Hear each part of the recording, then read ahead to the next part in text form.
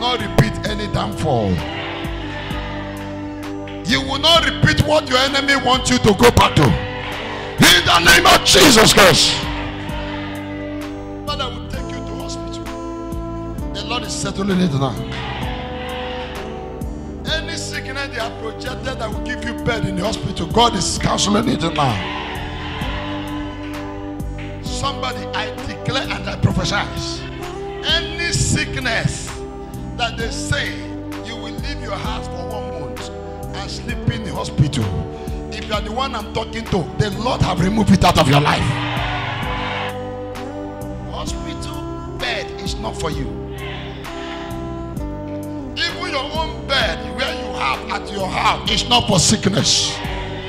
So from today, whoever that want to turn your bed to sick bed, I destroy that power in the name of Jesus.